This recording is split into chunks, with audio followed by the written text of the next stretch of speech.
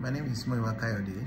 Um, our company, Tayekani Productions Limited, has uh, introduced a, a uniquely African cartoon animation series called Turtle Taido. The whole essence of Turtle Taido is to spread the message of diversity, inclusiveness, and to help the young generation of African children take pride in their identity. Turtle Taido is about uh, a turtle that goes around on an adventure to different cities in different parts of Nigeria and Africa. And on his journeys, he learns about other people's cultures, he learns about places and animals, but most importantly, he learns that when we understand why people are different from us, by way of cultural diversity, we will treat other people with respect and ultimately the world will be a better place.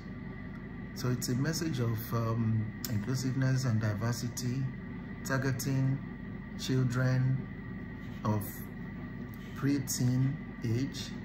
And this message is so strongly needed in the world today because of the various factors that are causing division and disunity and conflict. And if we're able to begin to get the children, the younger generation, to imbibe the spirit of tolerance and mutual respect, that will go a long way in fostering unity, imparting the message of inclusiveness, and helping the younger generation to embrace diversity and understand that when people are different from you, it doesn't make them any worse or better, they're just different. And when we understand the the reasons why others are different, then it's it's it's a lot easier to help us uh, treat one another with respect and make the world a better place.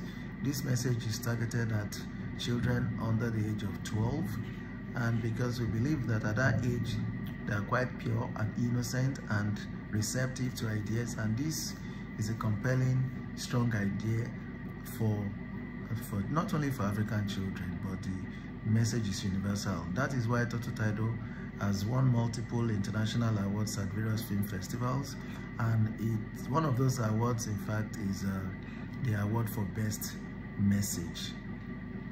We hope to take this beyond the shores of Nigeria and Africa and make it a global brand eventually. Thank you.